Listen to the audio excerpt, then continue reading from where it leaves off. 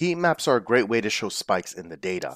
You can use any two sets of fields to do this, sometimes more, and the higher the distribution of fields, typically the more interesting the analysis. Now heat maps are one of the easiest things to build and professionally speaking, stakeholders love these because they're also very easy to understand.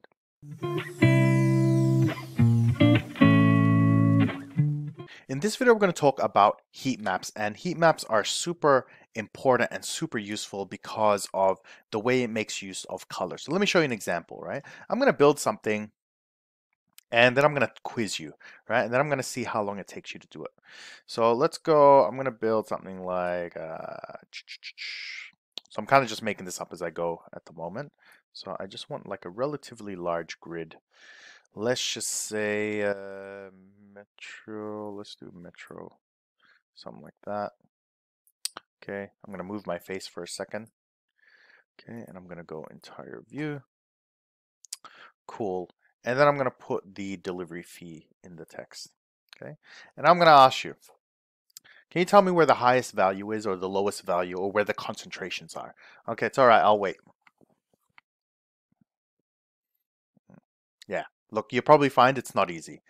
And this is kind of a prevalent issue I see in the industry in that this is how we give information to people. We just give them in giant tables. And what we really should be doing, um, and what I want you guys to learn is when we create data and when we communicate it, it needs to be what we call actionable data. It means it needs to suggest through design or through colors or how you've built it, it suggests to the person, what do we need to do next? Okay, what action do we need to take? Where are the problems? And let's discuss those. So what if I change this to something like this? Straight away, you're like, oh, it's right there. right? And it's so much easier because of the use of color. This is a heat map. Okay, and it's super useful, and I'll show you exactly how to build it. So let's start from scratch. So I'm going to clear all this. Um, heat map is very simple. You can either use the show me right, which is this one up here. So let's go ahead and try that first. So you just need one of each. So let's say I'm going to be uh, bring result. Let's bring delivery fee, and let's press this one on the top right. So straight away, I have a heat map. Now I can choose to leave the values in there, right? Because people prefer it. However, sometimes the number, because of the detail, kind of takes precedence. People are more concerned with the number as opposed to, well, which one's highest, which one's lowest. That kind of gets the conversation going. So what you can do is just get rid of this text. Okay, so you just get rid of that and you just have color. And one thing you can do is you can just sort this. Okay, so I can just use these buttons up here. So let's go highest to lowest. And that basically should be the start of the conversation, right? You And you can see because of the color scale, this no answer is significantly high, higher than the rest. I'll show you another example where color is very useful. So let's say I go here and I go color, you can see by size, it's significantly larger than, you know, more of them combined. So then it begs the question, why are there so many at no answer at address? Are we not going there at the right times? Do we have people knocking at like three in the morning, you know? So it, it gives more questions for further discussion so that your business can go, well, what action or strategy we need to take? Okay, so that's why color is so important. All right, so that's your most basic heat map. That's all there really is.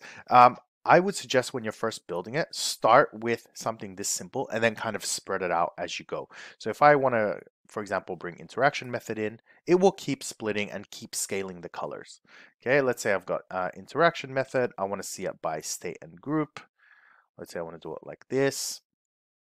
Let's make this a little bit narrower, make this a little bit taller. Okay, so then straight away I'm like, okay, it seems to be isolated to New South Wales. Cool, that's interesting and also Victoria and WA kind of lagging behind a little bit. Let's go further to the right. We can see these are all great, so they're not as big of an issue. So I'm just going to move this um, label over to the left, actually, just grabbing by the heading, okay, just so we can see. So uh, just to add to this a little bit more, let's say I kind of want to full screen this. So let's go entire view um, and I want to explain something. So let's say you're in a meeting room and they go, so, you know, Jed, what's going on with the interactions, you know, um, in terms of corporate notice and government notice? What's the split? Okay, cool. I can say, listen, we're getting a lot of them in New South Wales and Victoria and WA. It seems to be kind of where all our efforts are kind of um, fall into. So then you can kind of go further Well, it's like, okay, let's say we dealt with that. What's the next one? Okay, so we're not going to cover this just yet, but I'm just want to show you what you can do. I can actually select these three, okay, and just exclude them from the analysis. What that does is it rescales all the colors and gives me the next group. Okay, oh, it's still New South Wales and Queensland, but it's this time customer has responded to notice. So I can go here and click on this one, we exclude that and then it rescales again over and over. So you can see how Tableau really makes it easy to kind of dive deeper in your data and kind of discover what's going on without having to read massive tables of data. Okay, that's just an example. So that is basically your heat map. There's really not much more to it. What I suggest is just have a play with it because it's one of those really simple things that it can't really break or go wrong. Okay, so I hope you guys enjoyed and I'll see you at the next video.